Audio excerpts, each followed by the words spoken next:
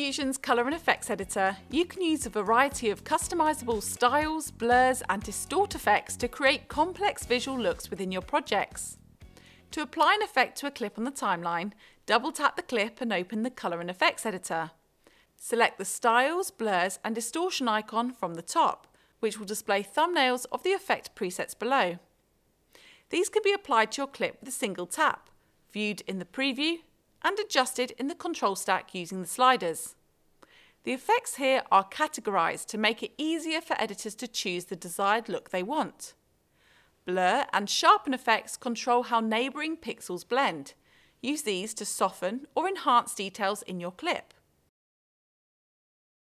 Style effects change the look of the image without moving pixels, whereas distort effects change the shape, size and position of the pixels in your clip.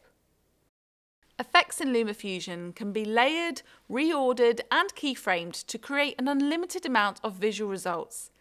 These can be saved as an effect preset for future use, available to access in your user effects library with a single tap. Or they can be simply copied and pasted to multiple other clips using the LumaFusion clipboard. Editors may also like to apply colour and effects to adjustment clips, which will allow them to make fast changes on the timeline to a range of clips at once.